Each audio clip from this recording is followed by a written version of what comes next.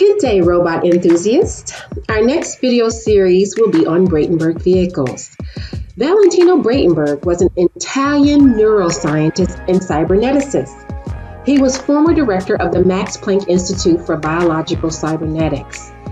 His book Vehicles Experiments in Synthetic Psychology became really famous in the robotics community because he described these hypothetical vehicles that used a combination of sensors and actuators and their interconnections to make these really simple designs that exhibited behaviors on a robot that were very similar to animal like behavior.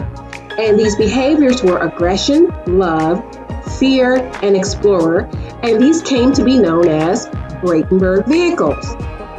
His work was so groundbreaking because it was also laying the foundation for reactive control, which is, which is a tight coupling between sensing and acting.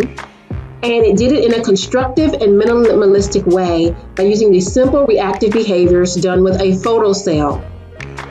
So, this series will explore four Braitenberg vehicles.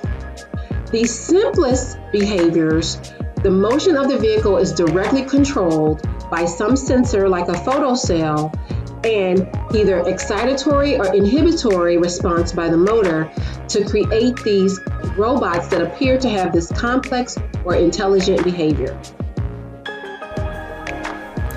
So the first vehicle that we will explore is fear. So this is an excitatory connection between the photocell and the motors where the faster the motor goes is related to the intensity of the light. The next one we will explore is love. This is an inhibitory connection between the motor and the photocell, where the more light the robot receives, the slower the motor receives.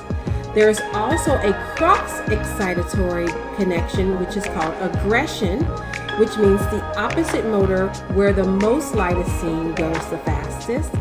And the last one is called wander around or exploratory behavior, which is a cross inhibitory connection where the more light that photocell receives, the opposite motor goes slower.